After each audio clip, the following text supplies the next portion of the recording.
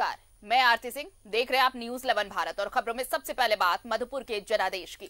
मधुपुर उपचुनाव में मंत्री हफिजुल हसन ने जीत दर्ज की है। हफिजुल ने लगभग 5000 वोटों से ये चुनाव जीत लिया है। मधुपुर उपचुनाव में हाजी हुसैन अंसारी के पुत्र और पर्यटन मंत्री और हफिजुल हसन जेएमएम के प्रत्याशी हैं। वहीं बीजेपी ने गंगा नारायण सिंह को अपना उम्मीदवार बनाया। मधुपुर विधानसभा सीट पर पिछले दो दशकों से जेएमएम और बीजेपी के बीच सीधी टक्कर होती आ रही है और इस बार भी दोनों के बीच कड़ा मुकाबला हुआ। और देखिए आखिरकार, तकरीबन साढ़े पाँच हज़ार वोटों से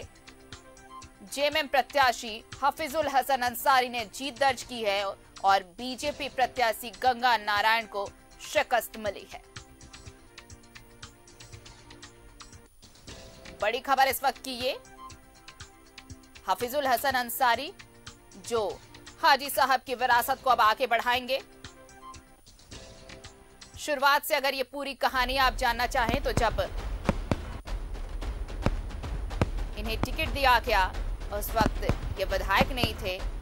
इन्हें मंत्री बना दिया गया। हाजी हुसैन अंसारी का निधन हुआ, उसके बाद उनके बेटे को मंत्री बनाया गया और मंत्री बनाने के बाद इन्हें टिकट दे दिया गया। और ये मास्टर स्ट्रोक देखिए, आज इसका परिणाम सामने है। और बतौर मंत्री, इन्होंने ये जीत हासिल की। मधुपुर बाई इलेक्शन में जीत मिली हफिजुल हसन अंसारी को। और जब ये पूरा चुनाव अगर आप देखें तो पूरी चुनावी प्रक्रिया के दौरान पूरा महागठबंधन एकजुट नज़र आया। और सबने मिलकर चुनाव प्रचार के दौरान ये एकता देखने को मिली। तमाम जो सहयोगी दल हैं, जेएमएम के, कांग्रेस, आरजेडी, सभी मिलकर, या कहें कि पूरा कुनबा यहाँ पर मौजूद था चुनाव प्रचार के दौरान। लेकिन अगर उसके दूसरी तरफ़ आप देखें, विपक्ष विपक्ष की एकजुटता इस दौरान धराशायी नज़र आई।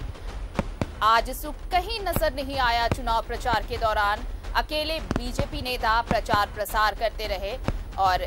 ये सारी चीज़ें देखिए, एकता, अगर कहें तो एकता की भी जीत हुई है महागठबंधन की और नतीजा सबके सामने है। मधुपुर का जनादेश आ चुका है, हफिजुल अंसारी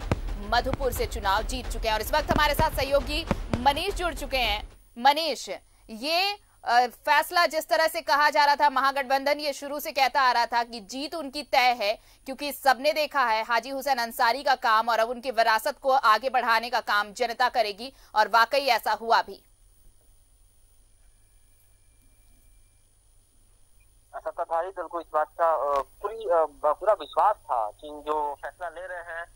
हाफिज अंसारी को ही टिकट देने का या उन्हें मंत्री बनाने का तो उसका कहने कहीं फ़ायदा होगा। इसीलिए सभी ने हम न्यूजीलैंड भारत ने सभी शुरू से कहा कि मास्टर स्ट्रोक हेमंत सोरेन ने जो किया था, क्योंकि दावेदारी को लेकर के यहाँ से विधानसभा चुनाव में कई घटक दल भी दावेदारी कर रहे थे, राजद आगे आगे थे कि ये टिकट दावेदारी उनकी बनती है, लेकिन जब हफीजुल अंसारी को वहाँ से मंत्री बना दिया गया तो सीधे ये खारिज हो गया कि सारे लोगों की दावेदारी खत्म कर दी, और एक तरह से एक संदेश दिया कि ये श्रद्धांजलि है उनके लिए, क्योंकि उनके पिता हो चुका है उनका बड़ा समझ रहा है उनकी अपनी फैक्ट उनकी अपनी पहचान रही है इस इलाके में और पूरे झारखंड में और वो हर हाल में हमेशा जेएमएम के साथ जुड़े रहे ये सभी लोग जानते हैं तो उसके बाद भी संबंध जो हेमंत सोरेन का रहा उन्होंने एक तरह से श्रद्धांजलि दी और जब वो आए थे हेमंत सोरेन उन्होंने कहा भी था कि ये हमारे लिए श्रद्धांजलि है ये तो निश्चित तौर पर जो काम काज था जो विश्वास था उसके बाद जो काम बढ़ाया गया है और चट्टानी एकता दिखी ये निश्चित तौर पर देखिए सबसे पहली बात है कि बहुत पहले ही इस बात का तय कर लिया गया कि हाफिज अंसारी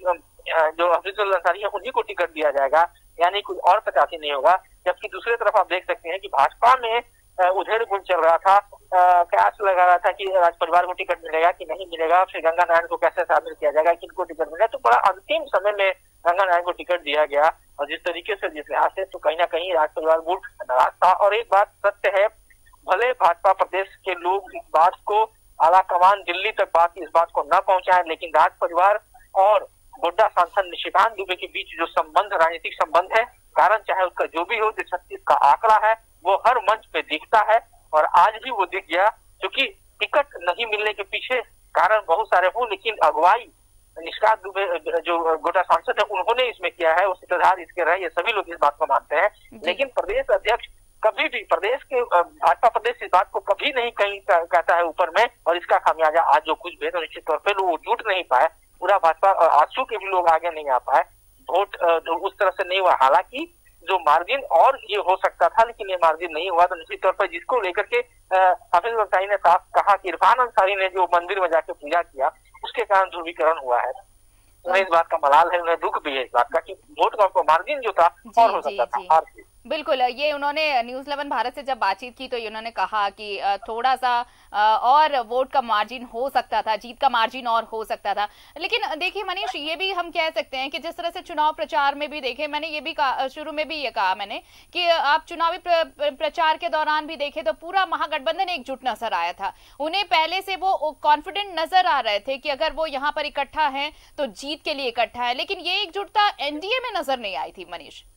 देखिए एनडीए में भी प्रचार किया गया था, प्रदेश अध्यक्ष आए रघुवर दास आए लेकिन रघुवर दास जब पहुँचे थे तो उनको गोबैक को भी सहन करना पड़ा था, वहाँ से गोबैक की भी बात हुई थी। दूसरी चीज़ है कि सभी लोग, और लोग भी आए, बाबूलाल मांडी भी कहा यहाँ पे किए, लेकिन बाबूलाल मांडी का जो एक मैजिक की बात थी, ये यहाँ कहना बहुत ज़रूरी होगा कि ये दुर्भाग्यपूर्ण बात है, या जो भी क्या है कि जब से बाबूलाल मांडी फिर से रियूनाइट हुए हैं भाजपा के साथ उनके आने के बाद से जो तीन चुनाव राज्य में हुए, तीन उपचुनाव हुए, उसमें कोई मैजिक उनका नहीं चला, चाहे वो दुमका का हो या फिर यहाँ मधुपुर में हो। तो उनका मैजिक नहीं चला, जो उम्मीदें की जाती थी कि बाबूलाल मांडी एक विकास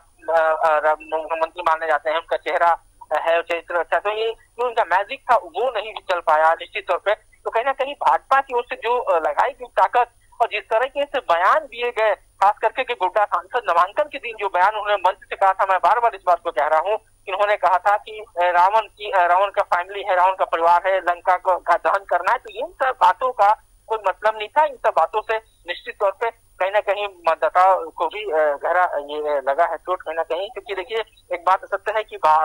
देवघर में देश भर में लंका दहन होता है रावण वध होता है, लेकिन बाबा नगरी देवघर में रावण दहन नहीं होता है, लंका दहन नहीं होता है। ऐसे बयान देना कि रावण के खानदान है लंका लंका की लंका को जला देना तो इस तरह के बयान देना नामांकन के दिन पूरे मंच से। तो ये कहीं ना कहीं बयान ज़रूर कहीं ना कहीं खामियाजा इसका निश्चित तौर पर हुआ ध्रुवीकरण हुआ निश्चित